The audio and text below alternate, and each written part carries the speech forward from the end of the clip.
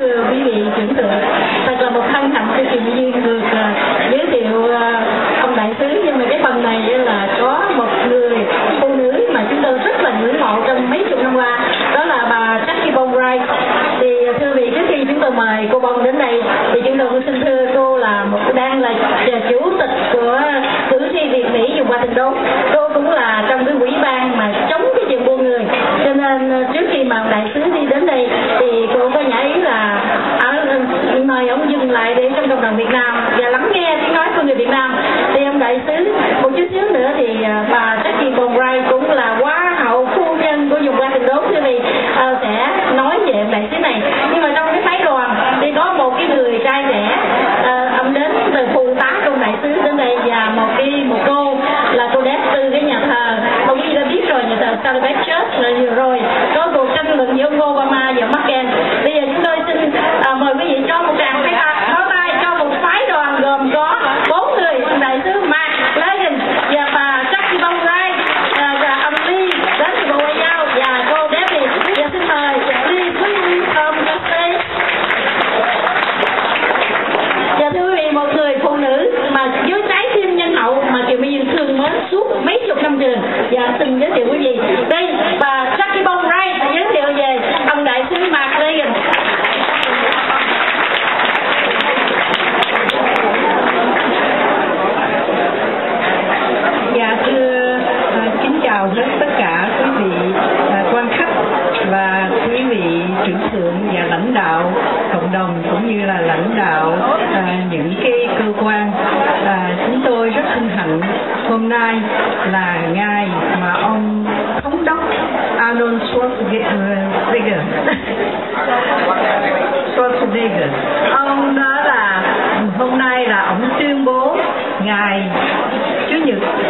11 tây tháng Giêng là ngày chống nạn buôn người của tiểu bang California. Xin quý vị cho một tràng pháo tay cho ông thống đốc. Và vì đó thì ông đại sứ giám đốc của Bộ Ngoại giao trong cái văn phòng chống nạn buôn người có nhà ý tới đây để ờ, chúc mừng cái ngày chống nạn buôn người của California và ông à, đại sứ Legan cũng được à, nhà được bác mời tới để nói chuyện về việc này. Và ông đại sứ có ờ, nhờ tôi cách đây có ba ngày nói là ông đại sứ thấy là ở bên California này là cộng đồng Việt Nam rất đông, cho nên là ông có nhà ý muốn tới để chào hỏi tất cả quý vị. Và hồi trưa này thì ông có làm một cái họp báo hồi à, 2 giờ trưa. Và tối hôm nay thì ông xin à, tới đây để à, kính chào tất cả quý vị. Thưa đây là ông đại sứ Mark Reagan.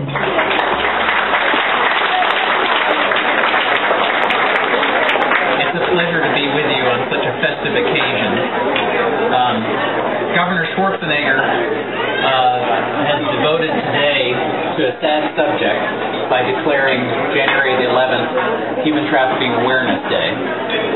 I'm the dedicated ambassador uh, of the federal government for fighting human trafficking around the world and working on the problem at home.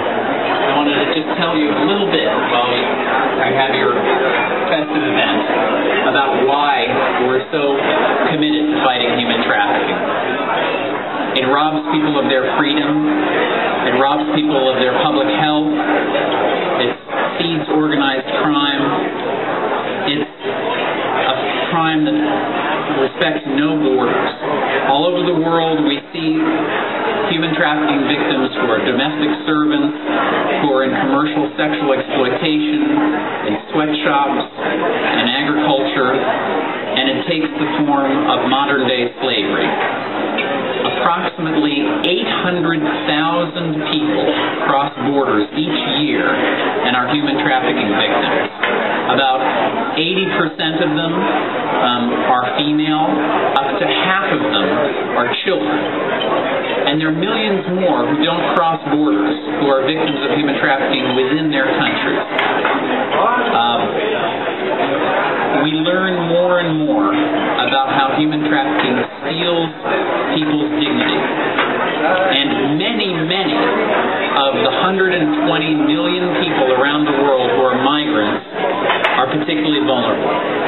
As President Bush said, every human being has dignity and value, no matter what their citizenship papers say. Um, in this year's annual assessment that our office at the State Department does, we found that Vietnam has been a source, a destination, and a transit point for human trafficking.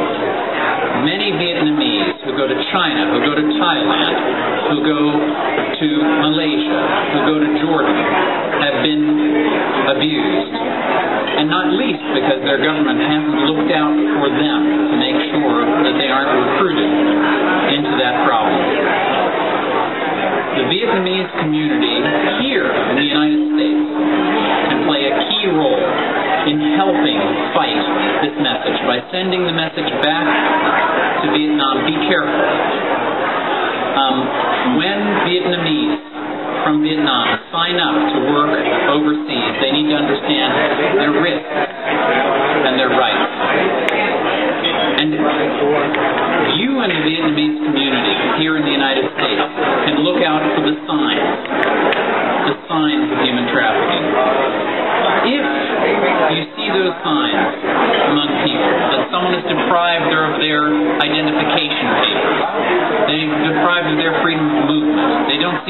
able to worship,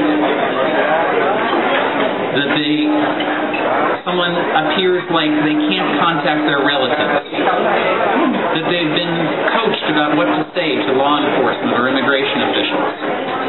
If you know of people who've been recruited to work for one purpose and end up in another, people who have fees taken out of their salaries, like for inflated rent and food, people forced into prostitution, family members threatened and harmed.